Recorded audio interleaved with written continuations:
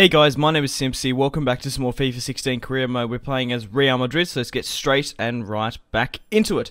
Right, first things first, guys. We're going to put Embolo through the training runs again. He gets a, an F, a C, a C, a B, and a C. So over overall, not too bad. But obviously, we just want to improve his stats overall, so then his overall rating will increase instead of focusing on one specific um, attribute. You're better off up uh, trying to simulate all of them and trying to get um, just his overall rating up. Obviously, it will increase his price, which would be absolutely fantastic. But guys, we got a huge, huge development happening. Sergio Aguero, within 16 matches, has scored 5 goals and 3 assists. He's got a 7.0 rating. He arrived for 72 million. Now, Embolo has played 16 games, scored 5 goals and 3 assists. So he has 2 more assists than Aguero. Apparently, he's got a 6.8 rating, which doesn't make any sense.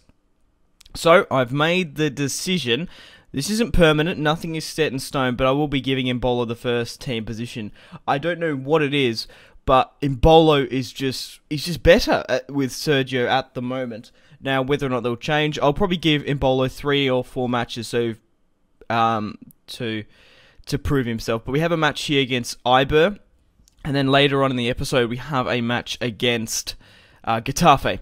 Gareth Bale's currently the top goal scorer. Toni Kroos is pushing up there with the assists, and David De Gea, arguably the best goalkeeper. I've never felt so confident with a goalkeeper in, in goal. He's absolutely superb in my Manchester United and in my Real Madrid. So we are playing at Crown Lane, a small stadium here today. Let's see how Embolo performs. But it's obviously not a bad thing. Obviously, competition uh, builds brilliance. but Cristiano Ronaldo, they're running down the wing, trying to create something. But it's it, it's so good to have those options of Embolo and Sergio Aguero. It's just fantastic for the overall overall football club itself.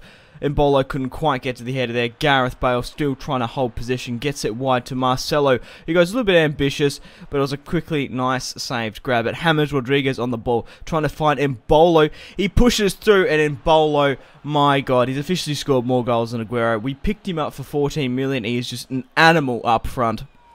I don't know, obviously, Sergio's been playing the big sort of games, Embolo's been coming off the bench. Um, and obviously he's playing against these weaker sort of sides, but I, I just don't know what it is. I can just score with him so easily, and it's just absolutely fantastic. But Sergio Aguero, uh, sorry, um, Ronaldo here breaking away, a little bit ambitious, probably had a little bit more time to correct the finish instead of going for the, the lob.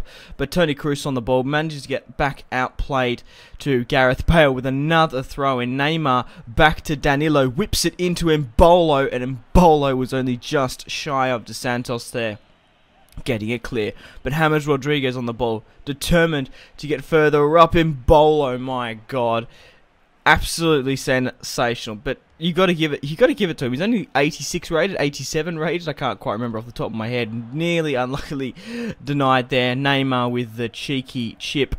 But uh, yeah, we'll, we'll, give Embolo a bit of a run in the first team. We'll see how he performs. He's already scored a goal in this match. If he hits the ground running, as Neymar does here. Absolutely superb finish to make it 2-1 to hopefully seal the deal for the victory just before the 50th minute. Absolutely hammers it home past the goalkeeper and we celebrate in front of the travelling fans as a team. Absolutely fantastic, even though the media is sort of in the way there. But Embolo with a superb play, and he made that fucking play. He passed it to Gareth Bale, even though Gareth Bale held it up and played it to Neymar, and Neymar absolutely killed it with his right foot. But Embolo was instrumental. I just I can't believe just how much of a fucking animal he's up front. If you guys have FIFA 16 career mode, definitely buy Embolo. Uh, let me know in the comments players you'd like me to sign in January. I'm going to be running through uh, Embolo through the training runs. Once I've done that, we will probably go with Kearney and maybe some of my other youth players. I'll probably only will do it for a month just to uh, save it around. But James, Rodriguez, right-footed. I don't even know how that go, uh, went in. I'm absolutely befuddled with the fist. The no oh, fuck. With the fist, fist, thump. Th that's it. okay, fist thump. I don't know why I said fist. It's the th it's the fist thump. Bloody hell, that's what the celebration is fucking called. Anyway, James Rodriguez absolutely belts it from just shy outside of the box. and we're 3 0 up here today. But on the counter attack, Toni Kroos puts in Embolo. He cuts back inside, still in a very dangerous position with the scoop turn. He keeps on going, and Embolo makes it 4 0 away at Eibar at Crown Lane just before the 55th minute. Now he's scored two more goals than Aguero. He's just absolutely embraced Madrid life and he's an absolute goddess. oh god, not goddess up front. Maybe there's something Embolo's not telling us. Regardless, we do have another match against Getafe coming up as well. But that was his sixth goal in the La Liga. Now Danilo on the ball, pushing up front, finds Gareth Bale and Bolo to get the hat trick, but unfortunately was denied. Modric on the ball, finds Cristiano Ronaldo with the finesse. Very, very unlucky not to score there. But we are versing Iber, or Eber, I think that's how you pronounce it. They're currently sitting in the bottom three positions, and the most likely will get relegated, and I don't even know how some of these goals are going, and absolutely ridiculous. Danilo scores probably one of the goals of the season. He shows the crowd. Not Danilino, Danilo, yeah. I think Danilino sounds better, but Modric with the back heel just outside the box. The right back absolutely fucking carves it out. Look at that. Top right as well. Nice dipping animation to make it 5 0 at Eibar. But Embolo picks up the man of the match, 8.9 with two goals and zero assists.